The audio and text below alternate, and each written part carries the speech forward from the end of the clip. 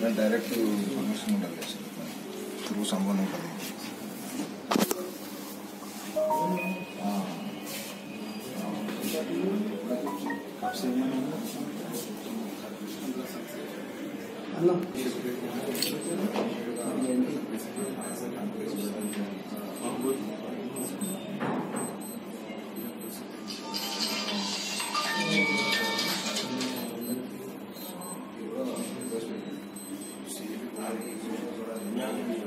واقعہ New Zealand میں ایک بےہودہ کی جانب سے کیا گیا ہے، جو اللہ کے گھر میں عبادت کرنے والوں کے اوپر فائرنگ کی گئی ہے۔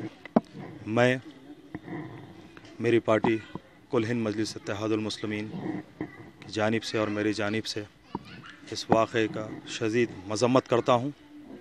اور گورنمنٹ آف انڈیا سے یہ ڈیمانڈ کرتا ہوں کہ جناب اقبال احمد جہانگیر صاحب جو فی الوقت زیر علاج ہیں،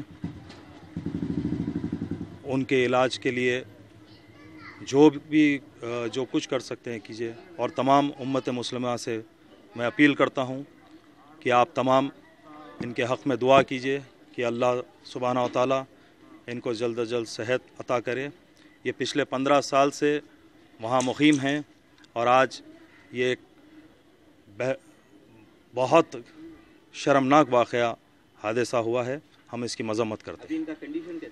ابھی میں گھر والوں سے ملاقات کیا ہوں۔ نقیب ملت الحاج بیرسٹر اسدین اویسی صاحب کی ہدایت پر میں یہاں پر موجود ہوا اور ابھی ان کے بھائی سے گھر میں ملاقات ہوئی ہے۔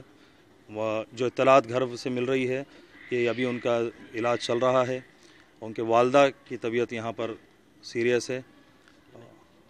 وہ بھی پریشان ہیں۔